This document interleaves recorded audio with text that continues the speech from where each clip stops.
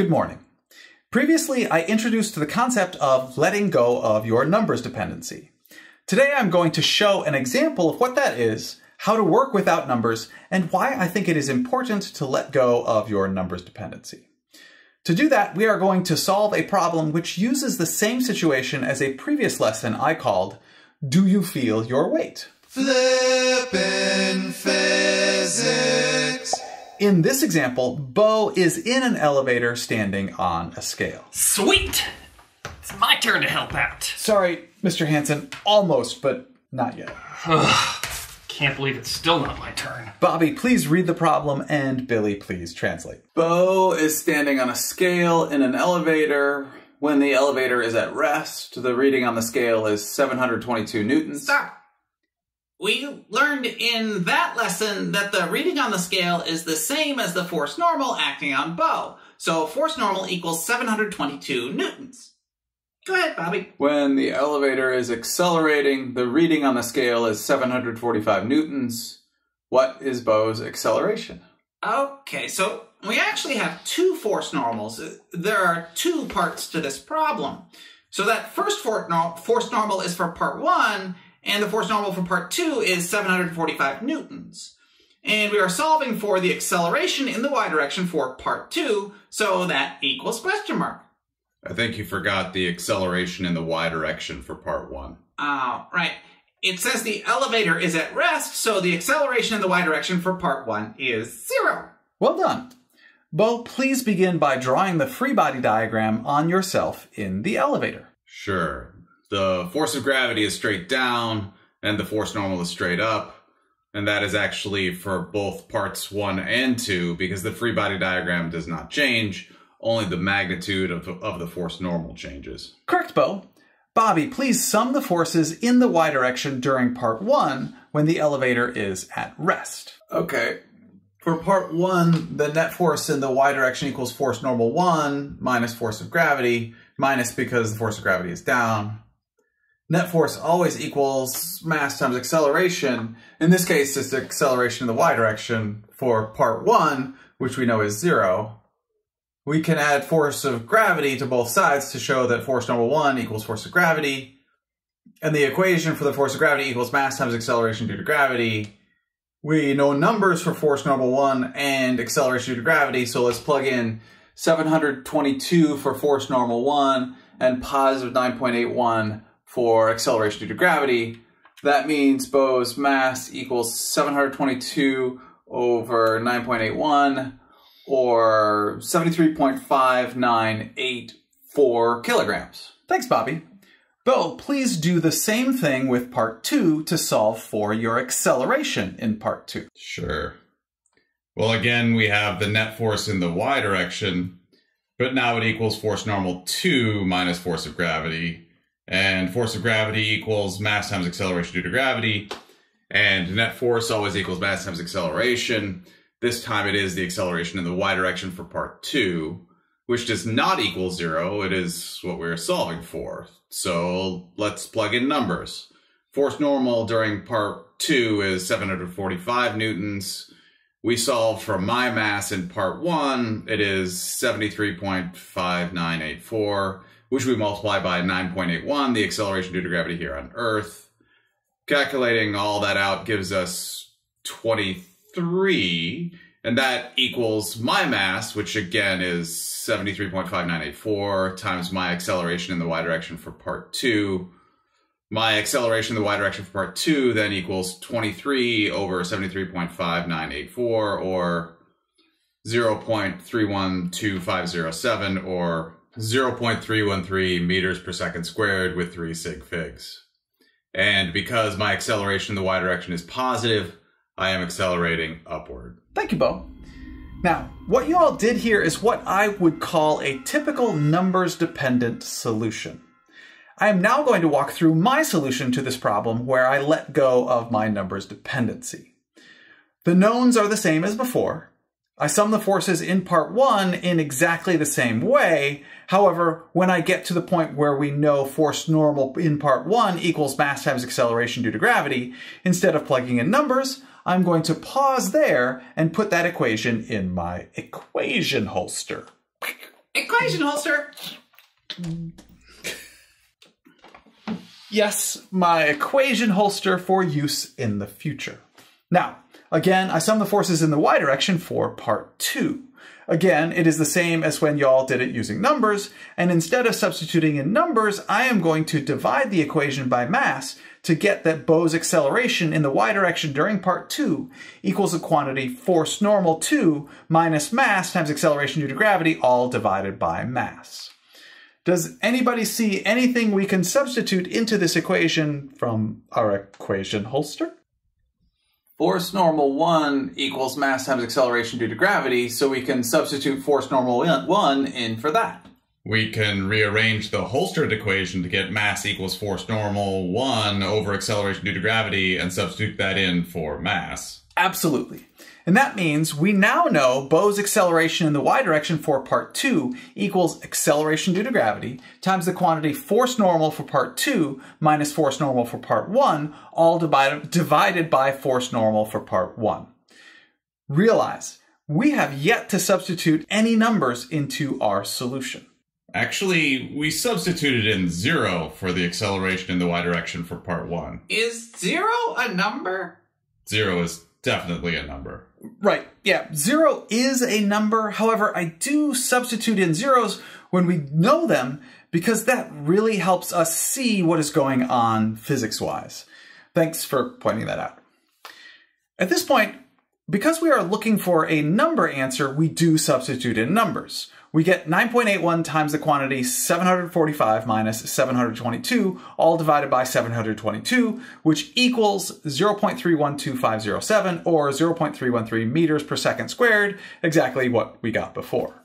So two different solutions. One is a numbers dependent solution and the other uses mostly variables. Now I want to talk about the advantages of the solution which lets go of numbers dependency. In the solution, which is numbers heavy, there are three times numbers are typed into the calculator. In the solution, which is variables heavy, numbers are typed into the calculator only once.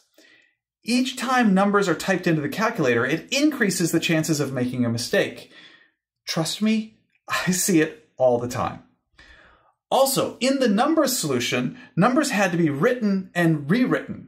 Each time a number has to be written down, it increases the chances of making a mistake. Again, I often see students make little mistakes when writing down numbers.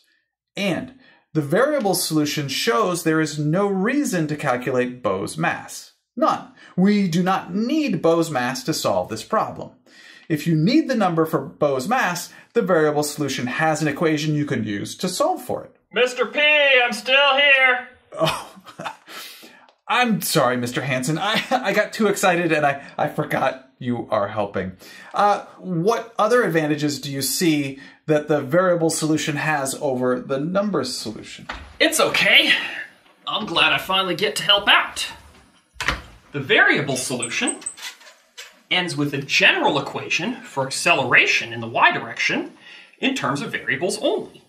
This means we can use this equation to find Bo's acceleration given any force normal reading on the scale. This is how labs work. We collect data and we perform repeated calculations. For example, in the Do You Feel Your Weight lesson, we collected data for the force normal as a function of time for Bo in the elevator. We can then use that data to calculate the acceleration of Bo as a function of time. We just take the equation we have for acceleration in the y direction in part 2 and plug that equation into our spreadsheet program. Now we have the acceleration data for every data point. And it was easy to calculate because we have an equation for acceleration in terms of variables. In addition to that, just like we graphed the force normal for Bo as a function of time in the previous lesson, we can now graph Bo's acceleration as a function of time too, or other details of the motion we may want to know. And there's more. There's more? oh, yes, Mr. P. There's more. From the variables equation for Bo's acceleration in the y direction, we can deduce a lot of information. And this method is both a way to check our work for accuracy and to learn the big picture of the physical principles at play. If the measured value of the force normal 2 were increased, then Bo's acceleration is also increased.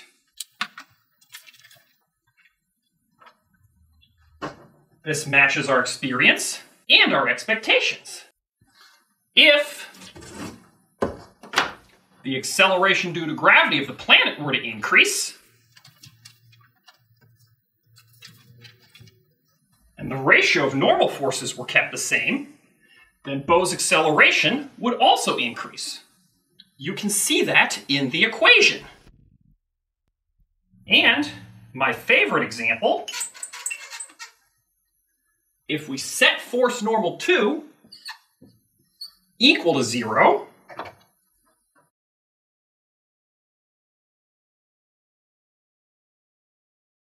If we substitute 0 for force normal 2, then you can show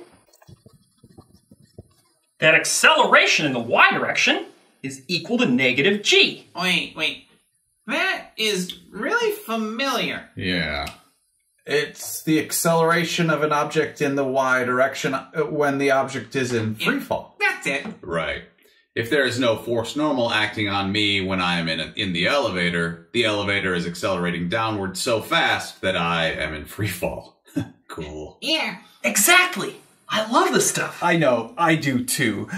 Thanks for your help, Mr. Hansen. You're welcome. Anytime. There is one more point I have to make about what we can do when we let go of our numbers dependency.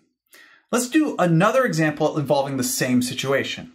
Again, Bobby please read and Billy please translate. Bo is in an elevator and feels like he weighs half his weight. What is his acceleration? Uh, is that it? That's it. But there are no numbers. I, I think that's the point. right. That bit about half my weight seems useful. Yeah. Remember from the elevator lesson from before that you don't feel your weight, you feel the force normal acting on you? Okay, so then we can translate the fact that you feel like you weigh half your weight to mean that force normal 2 equals half of your force of gravity. Then the solution for this problem is the same as the variables solution Mr. P just did all the way through finding the equation for acceleration in the y direction for part two in terms of variables. The difference here is that because force of gravity and force normal 1 are equal, and from the problem statement force normal 2 equals half of force of gravity, then we know force normal 2 also equals half of force normal 1. And we can substitute half of force normal 1 in for force normal 2 in our variable equation for acceleration in the y direction for part 2. Force normal one cancels out, and we get negative one half times the acceleration due to gravity for Bo's acceleration in the y direction for part two. Cool. When I feel like I weigh half what I normally do, that means I'm accelerating downward at half the rate of free fall. That is cool. Well done, everybody. Realize that as you get further into your physics learning, problems are going to have fewer and fewer numbers in them. In summary, letting go of your numbers dependency reduces mistakes, allows you to better understand relationships between variables, allows for easier repeated calculations like we do in labs, and the future of your physics learning includes fewer numbers. A numbers dependent solution is like a dead end one way street. In order to solve the problem, again with different numbers, you need to get out of your car, go back to the beginning of the street, get in a new car, and drive down the street again. However, a solution that is primarily variables is like a turnabout with many, many exits or options, and each exit is a path to extend your physics learning. But you do need practice learning how to drive around a turnabout. I do. Yeah. Yeah. The yield sign always confuses me. Thank you very much for learning with me today. I enjoy learning with you.